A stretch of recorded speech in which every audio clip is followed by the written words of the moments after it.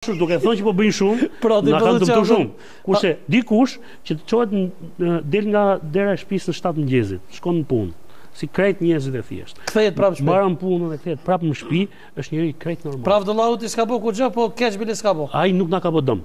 Dhe ne kemi arritur në pikën që ai që s'na bën dëm, është më i miri mes gjithë tyre. Pra, mes gjithë qorrave ai me një sy. Pavarësisht atë a di diçka, kryesorja mos me bo dëm.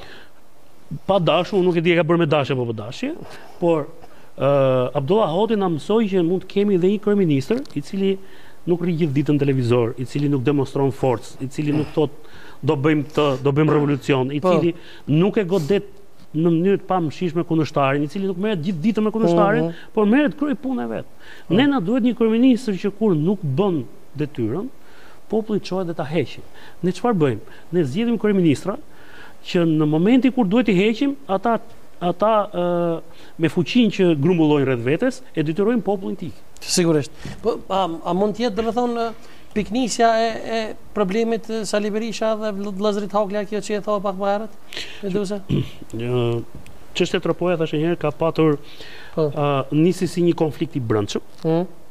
Pra në në Shqipëri dhe pastaj u zgjerua për edhe për çështjen e e Kosovës, por sigurisht Haklajt u bënë problematikë të mëdhenj për, për Berishën, sepse e goditën Berishën në vendlindjen e tij. Berisha është ka formimin është rritur në Malsi, ka formimin e Malsorit, për Malsorin shumë e rëndësishme vendlindja, dhe mos harroni nga momenti kur është kur ka ndodhur incidenti i Haklajve me Berishën, Berishës Berishës i janë dashur 13 vjet e gjysëm që të mos shkelë në vendlindje. Dhe ka qenë akuza kryesore e kundërshtarëve të tij. Pra në një vend si Shqipëria, dhe ti të mos shkelësh dot në vendlindjen tënde. Madje ai dhe kur u bë kryeministër iu desh dis, iu deshën disa vite që të kthehej në vendlindjen e vet. Sigurisht që ë, konflikti me me Haklajt ka nisur gjatë ngjarjeve të 97-s, pra kur shteti po shkërmoqej në Shqipëri. Dhe kur me një vendim të Berishës po kërkoheshin vullnetarë, ë, të cilët do armatoseshin në Tiranë dhe do dërgoheshin në jug për të shtypur revoltën ë që quhej në atë kohë që po e bënin pjesa e jugut të vendit. Mm. Dhe Fatmir Haklaj mhm. ka dalë në momentin kur ato kamionët po mbusheshin me rezervistë dhe u ka thonë ju nuk kini pse shkoni në jug. Kufiri ja ku është.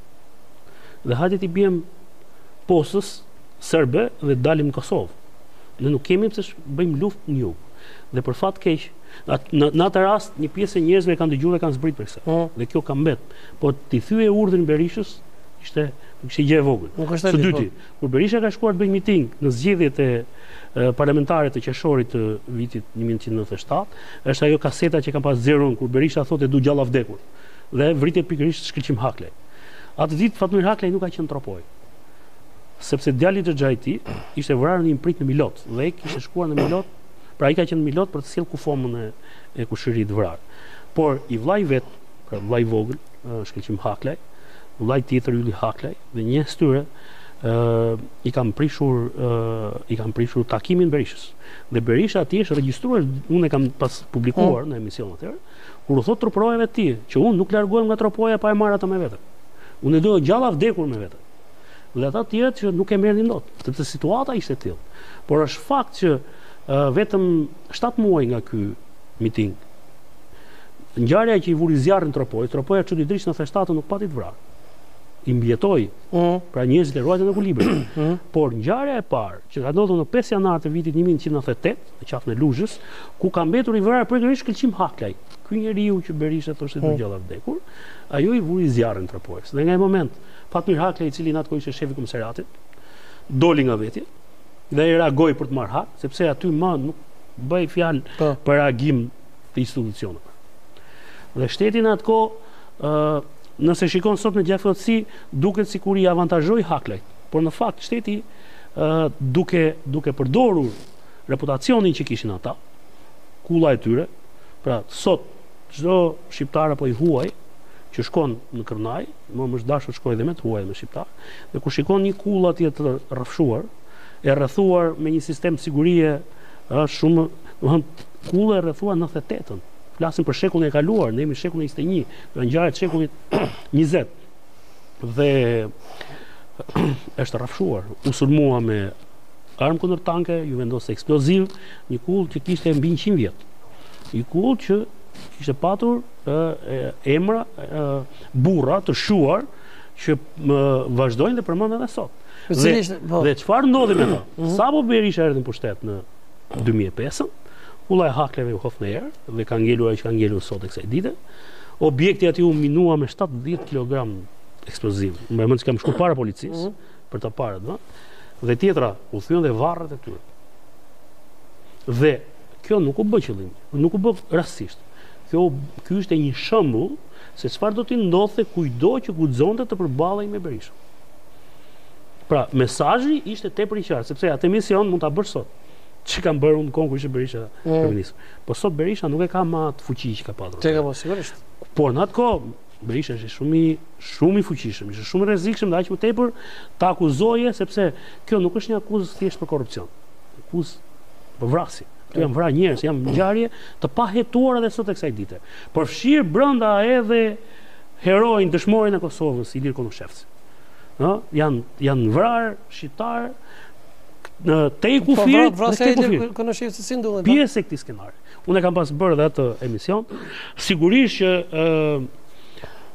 ai është është shoqëruar, pra është dhe informacioni që ai po lëviz, dhe po lëviz me armatim, ai është vrarë bashkë me Hazir Malën, me, me mjekun e, e Bajram Currit Hazir Malë, i cili, i cili e, e ka marrë të plagosur dhe e ka transportuar në kurriz për më shumë se një kilometër e gjysmë.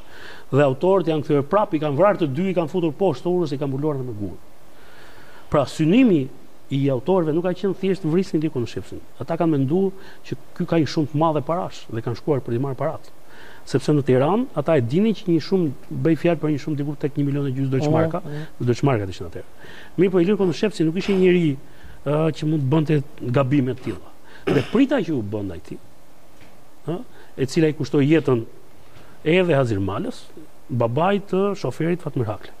Në mos gaboj Të nesërmen dhe një ditë mbrapa, personat që kanë kryer direkt vrasjet janë ekzekutuar. Dhe njeriu që ka marrë hak, pra, që duhet ta Ka qenë Fatmir, a? Ka qenë Fatmir Haklaj. Dhe nuk e ka bërë sepse në atë kohë nuk vepronte shteti aty. Aty aty ka vepruar vetëgjyqësia. Dhe uh, duket sikur po flas për ngjarje që ka ndodhur në Guayaquil të Ekuadorit, po ka ndodhur në Tropojë. Po. Dhe kjo gjë krijoi atë situatë aq të vështirë dhe kjo gjë e bëri i bëri Haklajt armik publik për Sali Berishën. Po mendon se ka pas dhe Haklajt po. u bënë u bënë barrë e rëndë edhe për të majtën dhe për kryeministrin Fatos Nano. Dhe Haklajt ka pas ka, ka patur një marrëveshje që është bërë në Hotel Rogner. Ë Berisha përballë ka patur kryeministrin Majko dhe ë zotin Meta. Në atë marrëveshje në Rogner Është vendosur fati i Haklajve. Që nga ai moment kanë filluar eliminimet ndaj Hak. Shteti nuk u përfshi vetë, por